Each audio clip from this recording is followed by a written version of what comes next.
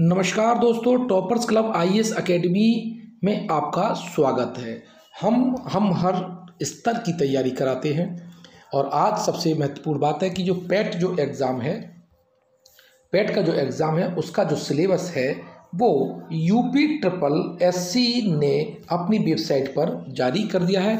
इसको लेकर के काफ़ी उत्सुकता थी, छात्रों को भी इंतज़ार था। साथ ही जो बावन हज़ार जो वैकेंसी आने वाली है, उसके लिए आयोग ने बहुत अच्छी तैयारी कर रखी हुई है। और सबसे बड़ी बात यह है कि उसने अपने इस सिलेबस को सेक्शन वाइज सेक्शन बांट दिया है। साथ ही ये भी बता दिया है कि अब उसने जो अपना जो स्तर है वो किस लेवल पे रहेगा? बहुत से छात्र थे, वो वज़न क्या क्या पढ़ते रहते थे? यूट्यूब पर भी इतना डीपली पढ़ा देते थे जिससे क्या होता था कि हैरानी होती थी डिप्रेशन से बच्चों को आता था, जबकि पूछा कुछ और जाता था।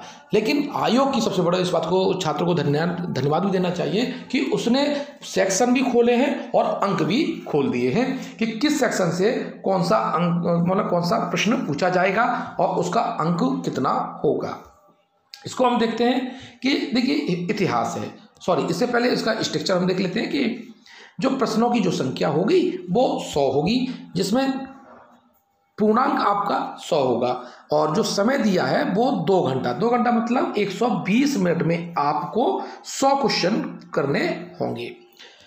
अब भारतीय हम इतिहास की देख लेते हैं। जो भारतीय इतिहास है, उसको उन्होंने दो सेक्शन बांटा है। तो भारतीय इतिहास और राष्ट्रीय जो नेशनल मूवमेंट है।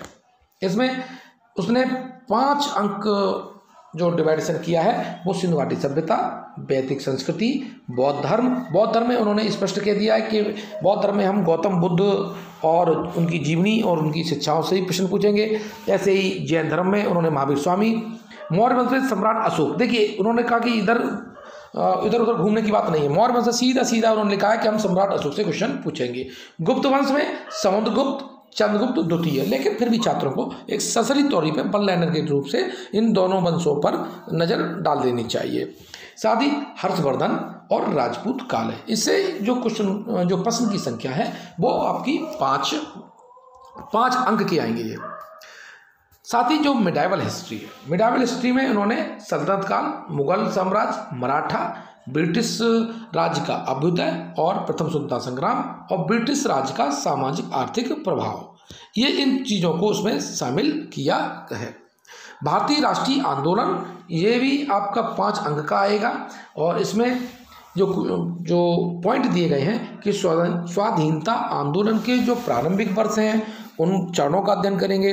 स्वदेशी और सविनय अवज्ञा आंदोलन है। साथ ही महात्मा गांधी और अन्य नेताओं की भूमिका का इसमें अध्ययन करना है।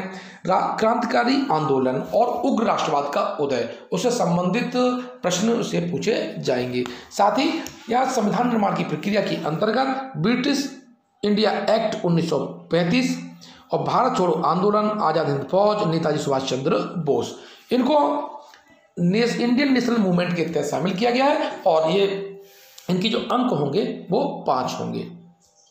अब यहाँ देखते हैं जियोग्राफी यानी भूगोल। भूगोल के सेक्शन से भी आपके पाँच अंक के प्रश्न पाएँगे जिसमें भारत और विश्व का भौतिक भूगोल, नदियाँ और नदियों की घाटी, भूजल संसाधन, पर्वत, पहाड़ियाँ, हिमतट, मरुस्थल, वन, खनिज संसाधन, भारत और विश्व का राजनीतिक भूगोल, जलवायु और टाइम जोन यहाँ से आपके पाँच अंक के क्वेश्चन आएँगे। भारतीय राज्य देखिए, जिसमें से इसमें योजना भारतीय अर्थव्यवस्था, उन्नीस से उन्नीस सौ इक्यावन, यानी इसने उदारीकरण से पहले वाला सेक्शन शामिल किया है और उदारीकरण के बाद में। यानी उदारीकरण के बाद का इंपॉर्टेंट वैसे भी हो जाता है, जिसमें आपका इन्होंने जीएसटी को विशेष रूप से शामिल किया है। अब भारतीय संविधान भारतीय संविधान भी पाँच अंक है इसमें भारतीय संविधान की विशेषताएँ, नीति निर्देशक तत्व, मौलिक अधिकार और कर्तव्य, संसदीय प्रणाली, संघीय प्रणाली, संघ और केंद्र शासित प्रदेश, केंद्र राज्य संबंध, न्यायिक ढांचा, जिला प्रशासन और स्थानीय निकाय और पंचायती राज व्यवस्था से प्रश्न पूछे जाएँगे। नेक्स्ट सेक्शन में देखते हैं। जिसमें सामान्य विज्ञान सामान्य विज्ञान को लेकर के उसने टू द पॉइंट क्लियर कर दिया है कि प्रारंभिक भौतिक विज्ञान प्रारंभिक रासायन विज्ञान और प्रारंभिक जीव विज्ञान जिनका लेवल टेन प्लस टू के स्तर का होगा। अंगणित को लेकर के भी क्लियर कर दिया गया कि उसमें बहुत कुछ एडवांस मैथ नहीं शामिल किया है। इसमें पूर्ण संख्या, यानी संख्याओं से संबंधित प्रश्न है, भिन्न और दशमलव है प्रतिशतता है, साधारण अंगणित समीकरण, वर्गमूल और घनमूल, वर्गमूल ही शामिल किया है, घातांक और घात है। लेकिन हमारे छात्रों से निवेदन है कि वो कम से कम सारे टॉपिक को भले सरसरी तौर पर तैयार करें, लेकिन पूरे अंग्रेज़ को आपको तैयार करना होगा। सामान्य हिंदी का सिलेबस छोटा किया गया। पाँच अंक आएगा। इसमें संधि, विलोम शब्द पर्यावाची बांक्यासों के लिए शब्द, लिंग, भिन्नार्थक शब्द, मुहावरे, लोकता, लोकाक्तियाँ सामान्य अशुद्धियाँ और लेखन और रचनाएँ जो गद्य और पद से संबंधित हैं, ये पूछी जाएँगी और इसके लिए पाँच अंक निर्धारित किए गए हैं। इसमें एक सेक्शन अंग्रेज़ी का जोड़ दिया गया है। अंग्रेज़ी अंग्रेज़ी में व्याकरण, गद्यांश और से संबंधित जो प्रश्न होंगे, अब इनका स्तर तो टेन प्लस टू लेवल ही बोला गया है और इसके लिए हम आपको लगातार सभी टॉपिक के लिए वीडियो बना करके भी देंगे सेक्शन वाइज सेक्शन वीडियो बना करके देंगे। तर्क शक्ति लॉजिक एंड जो रीजनिंग है, इसके लिए पाँच अंक निर्धारित किए हैं।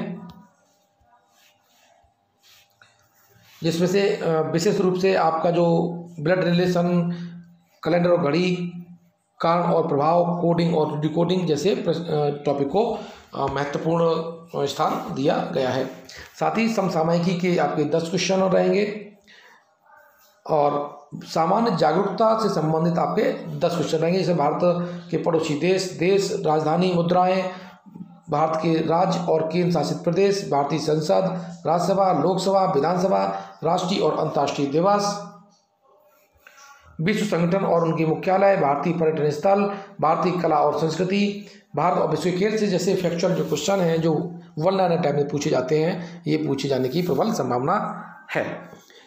अपठित हिंदी गद्यांश और विवेचन, उसका विश्लेषण। इसे भी पाँच प्रश्न आएँगे और इसके अंक होंगे आपके दस।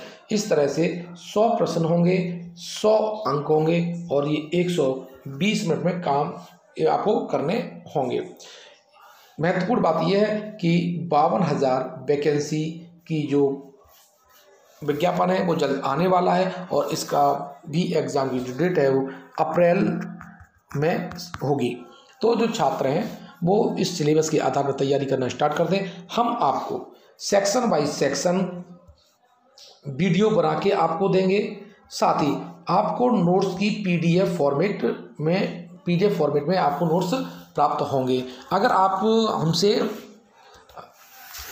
कोई भी सहायता लेना चाहते हैं, जैसे पीडीएफ की नोट्स की या आपकी टीचिंग की तो आप हमारे जो नंबर है eight six zero four nine eight seven eight one six या ज़ीरो ज़ीरो पाँच सौ बाईस four nine five triple one nine पर संपर्क करके जन जानकारी ले सकते हैं। हमारे यहाँ इसके बैच स्टार्ट चौबीस तारीख से स्टार्ट होने वाले हैं। चूँकि हमें इसी का केवल इंतज़ार था कि किस तरह से उनका सिलेबस होगा, हालाँकि हमारे बिल्कुल अनुरूप वही पूछा गया है सिलेबस में, जैसा हम लोग तैयारी कर रहे थे। तो जो भी छात्र एडमिशन लेना चाहते हैं, चाहे वो ऑनलाइन या ऑफलाइन तो हमारे इस नंबर पर कॉन्टैक्ट कर सकते हैं।